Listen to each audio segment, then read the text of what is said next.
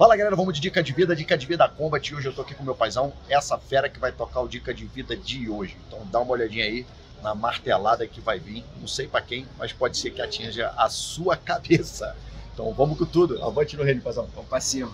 Então galera, a gente vive num mundo onde a referência das pessoas é naquilo que ela tem, naquilo que ela tem de posse, naquilo que ela acha que é o importante, é a riqueza, o dinheiro.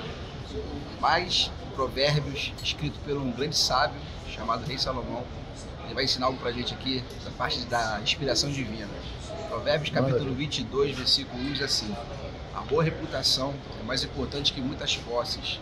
Desfrutar de boa, boa estima vale mais do que prata e ouro, mas segura que vem mais. O rico e o pobre têm algo precioso em comum. O Senhor é criador tanto de um quanto do outro. Toma. A gente tem que entender que que vai ficar, muitas vezes não é nem o dinheiro, não é nem as riquezas, nem as posses. Vai ficar o legado, a tua reputação é aquilo que você deixou. E, querido, se você é rico, você não tem direito de, de pisar em ninguém. E se você é pobre, você não tem direito de se vitimizar, porque o Senhor é criador dos dois. Então, vá atrás do seu, conquiste, vença. E se você tem muito, querido, comece a ajudar os outros. Deixa de ser avarento, mão de vaca e faça com que o reino seja manifesto através da sua vida, amém?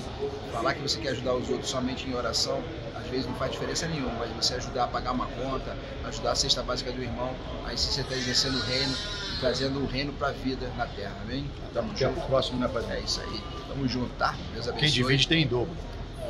Vamos com tudo. Avante no reino. Seguimos atirando com força. Ei. Rei.